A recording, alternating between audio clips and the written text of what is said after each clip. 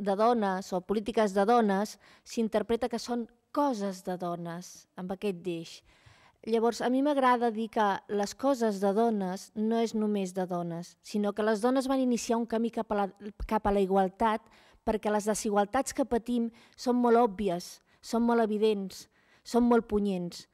Però jo crec que aquí ara ens toca també dir a tots els homes que o també comencen a conscienciar-se de com aquesta societat desigualitària per homes i dones els afecta i que potser, potser tenen por i potser estan molt mal educats com les dones, però estan en, en una situació que fins ara era més còmoda. Jo ara començo a veure molts homes que la, que la situació ja no els hi és tan còmoda. I això m'alegra, perquè comencen a qüestionar-se, hi ha molts homes, s'estan fent moviments d'homes que comencen a qüestionar-se la seva masculinitat.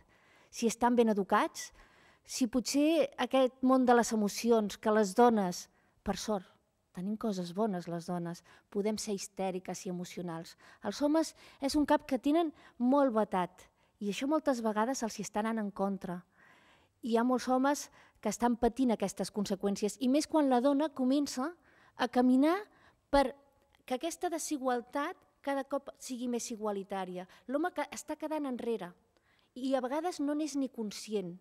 I a vegades, quan es fan activitats de dones, m'encanta veure 400 dones juntes, 500, 800, però jo crec que ha arribat el moment de començar a dir que calen també 400, 600 i 800 homes treballant-se la seva masculinitat i, a més a més, que comparteix amb, la, amb les dones aquesta càrrega de camí cap a la igualtat.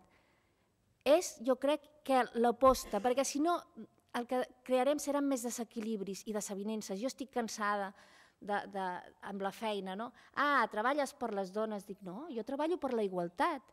I al servei on jo hi soc, hi ha coses que són per dones, però hi ha coses que són socials. I on jo convido els homes a venir. No venen als tallers d'autoestima, no venen als tallers de relacions. Mm, I jo crec que alguns sí que dintre seu comencen a moure's, però encara jo crec que la por eh, la por, aquesta por que tots ens immobilitza moltes vegades, els hi guanya el terreny. Eh? Mm, eh, com seré? I és veritat, una cosa molt clara, el masclisme no és una cosa d'homes, és un fet social, perquè per molt treballats que estiguem, i això ho hem de veure també, perquè a vegades ens pensem, com que jo treballo amb dones, jo sóc molt igualitària. Mm, jo fa temps que això no m'ho crec, jo estic construïda en el masclisme, i em van educar per ser una dona de casa, per la criança dels fills i, a més a més, com que havia un pas endavant perquè estudiés perquè així me desenvoluparia millor a la vida.